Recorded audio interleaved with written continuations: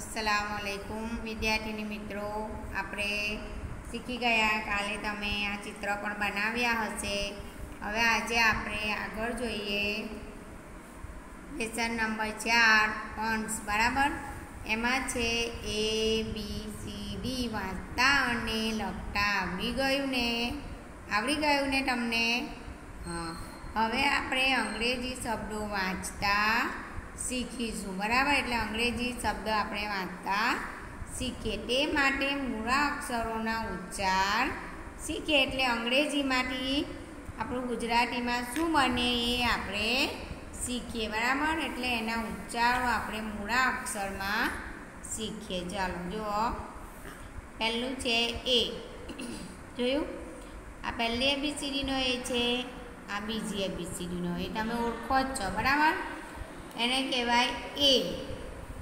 બરાબર? ગુજરાતીમાં આ રીતે અજગરનો અને ઉપર બરાબર? એ રીતે તમારે એ. હવે આ બી જો આ પહેલી એબીસીડીનો બી આ બીજી એબીસીડીનો બી એને ગુજરાતીમાં બ કહેવાય. શું કહેવાય? બ. બી એટલે બ. હવે જો સી આ પહેલી એબીસીડીનો સી આ બીજી એબીસીડીનો સી સી એટલે ક બને. શું બને? ક. તમારે ક લખવું હોય અંગ્રેજીમાં તો તમારે સી લખવો પડે. ચાલો જો ડી આ પહેલી એબીસીડીનો ડી આ બીજી એબીસીડીનો ડી ડી એટલે ડ. ડ, ડગલાનો ડ. તમારે અંગ્રેજીમાં લખવું હોય ડ, તો તમારે ડી લખવાનું.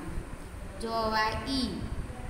આ પહેલી એબીસીડીનો ઈ, આ બીજી એબીસીડીનો ગુજરાતીમાં એનો અર્થ ઉચ્ચાર થાય છે ઈ અને એ. સમજ પડી? ઈ અને એ માટે આપણે ઈનો ઉપયોગ કરવો પડે. ચાલો જો એફ. આ પહેલી એબીસીડી આ બીજી એબીસીડી અને આ ગુજરાતી મૂળાક્ષરમાં ફ. શું છે? ફ. ગુજરાતી બી તમને આવડે જ છે. આ શું છે ફ તમારે ગુજરાતી ઇંગ્લિશમાં લખવું હોય ફ તો તમારે એફ લખવો પડે ચાલો જો જી આ પહેલી એબીસીડી આ બીજી એબીસીડી જીનો અર્થ ગુજરાતીમાં થાય ગ શું થાય ગ ગધેરાનો ગ ચાલો જો એચ એચ આ પહેલી એબીસીડી આ બીજી એબીસીડી એનો ગુજરાતીમાં શું થાય હ શું થાય હ હ માટે એચ વપરાય. ચલો, આ આઈ આ પહેલી એબીસીડી આ બીજી એબીસીડી આઈનો અર્થ થાય ઈ ઈ લખવો હોય તો તમારે આઈ લખવાનો, બરાબર? ઉચ્ચાર બરાબર તમારો હોવો જોઈએ. આ જે આ પહેલી એબીસીડી આ બીજી એબીસીડી અને આ ગુજરાતીમાં મૂળાક્ષર છે જ જ મૃતનો જ. જ જ અમૃતનો જ લખવાના આપણે જે લખાય ચાલો આ કે. આ પહેલી એબીસીડી આ બીજી એબીસીડી એનો મતલબ થાય ક. ગુજરાતીમાં આપણે ક. ક લખવું એટલે આપણે કે લખવાનું. જો આ એલ પહેલી એબીસીડી આ બીજી એબીસીડી આ શું છે? એલ એનો અર્થ થાય, ઉચ્ચાર થાય લ. શું થાય? ગુજરાતી મૂળાક્ષરમાં લ. આ એમ આ પહેલી એબીસીડીનો એમ આ બીજી એબીસીડીનો એમ એમ એટલે મ. શું થાય? મ. મ લખવો હોય તમારે ઇંગ્લિશમાં તો શું લખવાનું? એમ આ શું છે? એન આ પહેલી એબીસીડી, આ બીજી એબીસીડી અને આ ગુજરાતીમાં મૂળાક્ષરમાં શું છે? ન નગારાનો ન. ન નગારાનો આપણે લખવું હોય ઇંગ્લિશમાં તો હું લખવાનું એન. ચાલો, ઓ. આ પહેલી એબીસીડી આ બીજી એબીસીડી જો અહીંયા એનો અર્થ ઓ નો, ઓ જ છે. શું છે? ઓ. એટલે તમારે ઓ લખવો એટલે આ ઓ લખવાનો. બરાબર? પી. પહેલી એબીસીડી બીજી એબીસીડી અને ગુજરાતી મૂળાક્ષરમાં પ પતંગનો પ. પ લખવો હોય તો તમારે પીનો ઉપયોગ કરવાનો. ક્યુ ક્યુ જોયું? આ પહેલી એબીસીડી આ બીજી એબીસીડી અને ગુજરાતીમાં કવ. શું છે? કવ. ક ને વ જોડેલો છે. તમારે કવ લખવું હોય તો ક્યુ લખવાનું. આર આ પહેલી એબીસીડી આ બીજી એબીસીડી ને. ગુજરાતી મૂળા અક્ષર ર થાય. શું થાય? ર.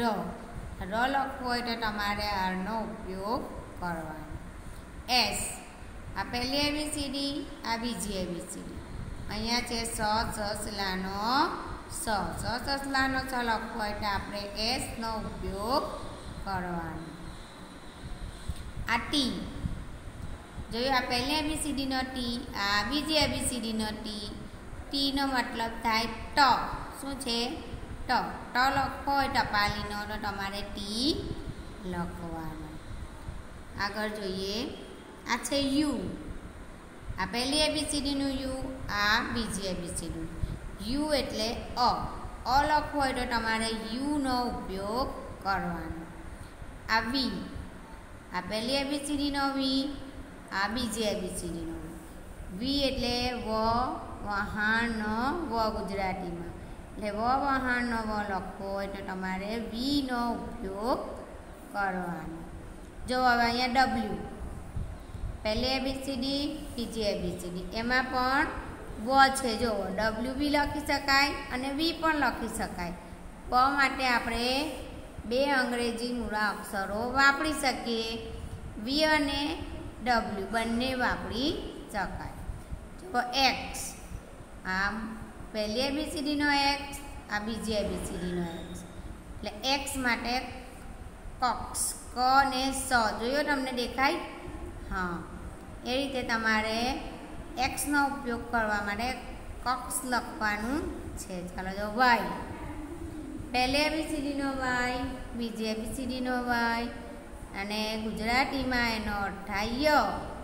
એટલે ય લખવા માટે આપણે વાયનો ઉપયોગ કરવો પડે. જો ઝેડ આ પહેલી એબીસીડી આ બીજી એબીસીડી અને આ ગુજરાતીમાં જ. ઝેડ લખવું હોય, જ લખવો હોય, જબલાનો જ, તો ઝેડનો ઉપયોગ થાય. બરાબર? જબલાના જ માટે ઝેડ અને જમરૂખના જ માટે જે. બરાબર?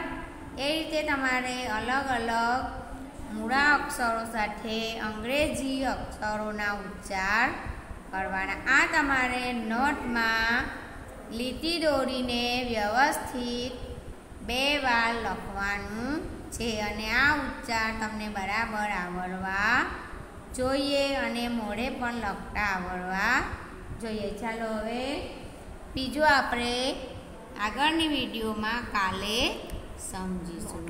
Thank you